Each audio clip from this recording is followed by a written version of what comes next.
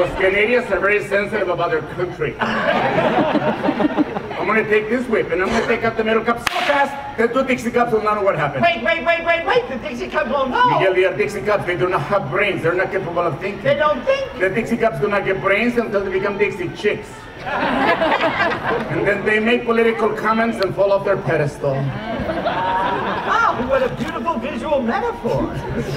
What is a metaphor? Uh, to fight a bull. Ándale. okay, he has to take up the middle cup. The top cup's going to fall inside the bottom cup with a split in the rum. Now, this is not part of the show. This is pre-show, so just make some noise. We'll get a crowd. We'll get it going.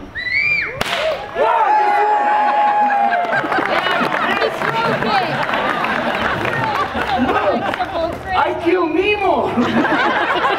Oh no, we'll never find him again. I anticipated failure, Miguel. You did. So I set up uh, another set of cups. Because I knew great. there's no way I was going to do it on the first try. Oh, God. So actually, I have another set of cups. oh, my God. It's also a brand new whip. I've never used this for anything before. I know, and if you have a bad whip day, my day is gonna suck. A little rum in there, a little rum in vodka, a little vodka there. Let's disappear, let's disappear. Now the second try of anything I do, Miguel, is the most difficult try. It is. Because now I lost all confidence. Oh no! Jesus! I'm starting to feel a lot like the, like the Eagles. Well, you're making friends today.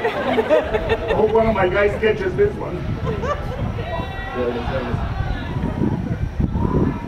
is. Second try, let's make it happen.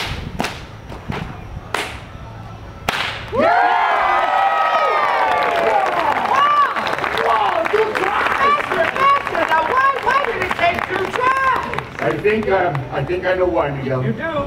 I had a little captain in me. Miguel, I don't always drink beer, but when I do, I like it in little Dixie cups. Stay Thursday, my friends. What? It's not rum or vodka. No. It's water.